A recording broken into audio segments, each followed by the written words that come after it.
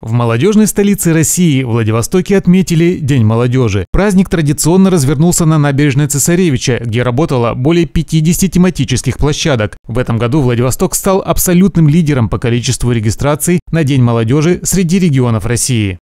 Я искренне рад приветствовать всех здесь, в молодежной столице, которые мы долго шли упорным трудом. И благодаря нашей совместной работе, потому что в Приморском крае проживает 470 тысяч молодых ребят, мы победили.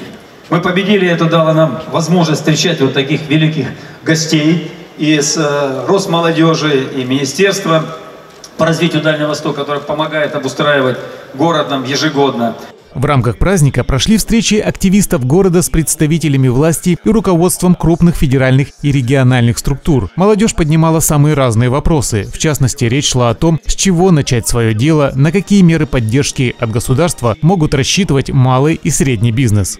Хотел сказать, у нас ежегодно проводится в ДВФУ конкурс стартапов, где лучшие проекты получают по 2 миллиона рублей. Если он прошел дальнейший отбор, то он получает еще 10 миллионов.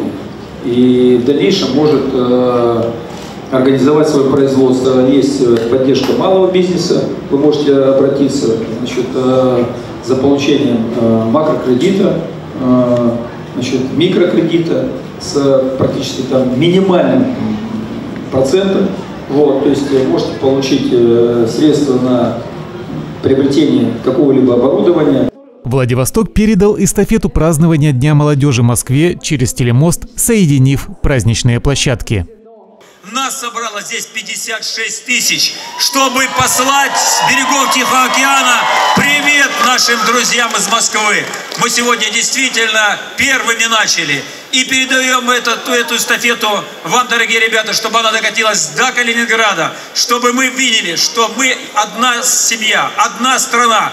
День молодежи во Владивостоке планируют отмечать целую неделю с 30 июня по 5 июля с 16 до 21 часа на набережной Цесаревича будут организованы тематические дни, посетить которые приглашаются все желающие. Артем Белов, Елизавета Драгомирова. Новости на восьмом.